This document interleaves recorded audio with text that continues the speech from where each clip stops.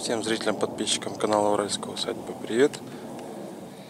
Сегодня у нас 3 ноября 2017 года.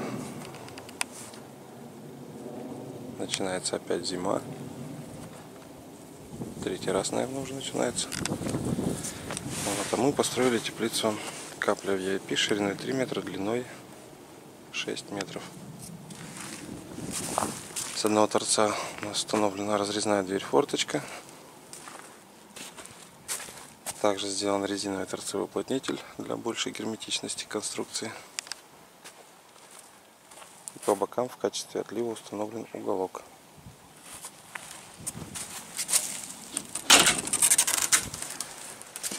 С другой стороны у нас просто форточка в торце. Также сделана система подвески по две нитки на каждую сторону. И установлены для большей жесткости каркаса диагональки укосины. Вся конструкция стоит на основании сделана из шпал. Каркас теплицы у нас сделан из трубы профильной 20 на 40 Арки выполнены в виде ферм.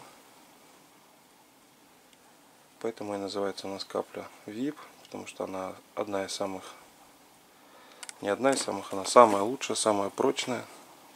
На мой взгляд, самый симпатичный каркас у нее. Изящный.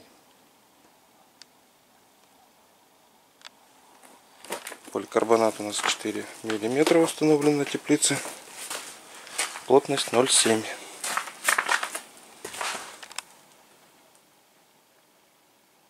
Ну вот на этом все. Задавайте вопросы, ставьте пальцы вверх. Всем пока.